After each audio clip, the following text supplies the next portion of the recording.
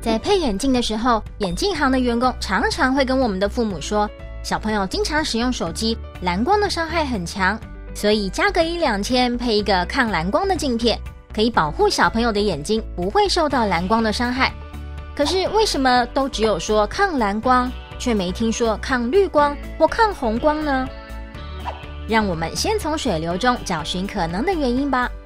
一道从水壶流到茶杯中的水流，如果我们不断的放大，可以发现水流中其实是一个个的水分子在流动。导线中的电流也是一样，如果我们不断的放大来看，也可以发现电流中其实是一个个的电子在移动。我们可以发现，自然界的物质都是由一个一个很小的不连续单元所组成。而在光电效应实验影片里面，爱因斯坦也将一道光视为一个一个不连续的能量团，也就是光子。而光子的能量大小跟光的强弱，也就是振幅没有关系。光的强弱改变取决于光子的数目，光越强，光子数目越多。要改变光子能量，就要用不同颜色的光。还记得之前在电磁波的影片里面介绍过？电磁波中的可见光颜色与什么因素有关吗？没错，就是频率。频率越高，光子的能量就越大。光子的能量与频率成正比。借此，爱因斯坦成功的解释了光电效应的实验结果。光子的能量与频率成正比，写成关系式，即为能量一等于常数 h 乘上频率 f。所以，蓝光光子的能量会比绿光光子的能量来得大，而绿光光子的能量又比红光光子的能量来得大。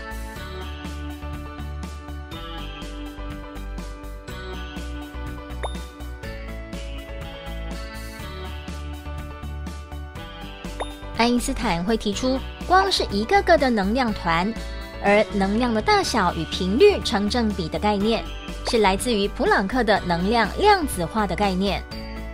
十八世纪时，各国为了制作高品质的钢与铁，必须准确控制鼓风炉内的温度。但是当时的温度计无法直接插入极高温的熔炉内。为了知道如何测量炼钢的温度，于是当时的科学家对物体高温的物体做了观察。他们发现，不论是炼铁时烧的炙热的金属，或是烤肉时燃烧的煤炭，又或者是喷发出来的岩浆，都有一个共同的特性：在很高温的时候都是黄白色的，随着温度的下降，会慢慢变成橘色，再变成红色。所以当时的人们就测量了不同温度下高温物体发出来的电磁波的频率与强度的关系，做成了频率与强度的关系图。当温度越高的时候，发出来的电磁波的强度越强，同时最大强度对应到的频率也会随着温度上升而变高。当时科学家按照古典的电磁学、热学及统计学等理论推算，都无法与实验结果相吻合。理论曲线在低频率与实验吻合的，在高频率就与实验不吻合。因此，当时的科学家不断的找寻解释的方法。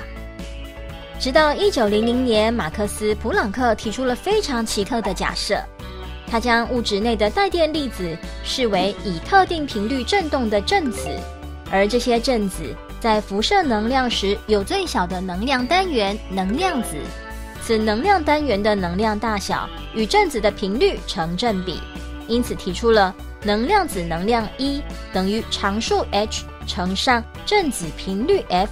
而此常数称为普朗克常数，而从热辐射的实验数据推算出的普朗克常数约为六点六乘以十的负三十四次方焦耳乘以秒。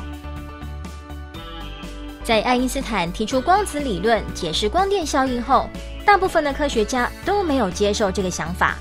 罗伯特·密利根就是其中一位，因此他做了许多的光电实验。测量电子最大动能与入射光频率的关系，并做成关系图。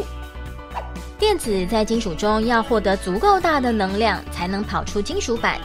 所以，光子在给电子能量时，要先克服金属的束缚能量，剩下的能量才会变成电子的动能。测量不同光频率与电子最大动能的关系。图中斜直线代表入射光频率越大，电子获得的动能越大。密蒂根借由数学推论出实验数据中的斜率就是普朗克常数，并证明了爱因斯坦的光子理论。有普朗克的常数的数值，我们可以发现一个光子的能量是非常非常小的，因此平常的时候我们才无法观察到能量的量子化现象。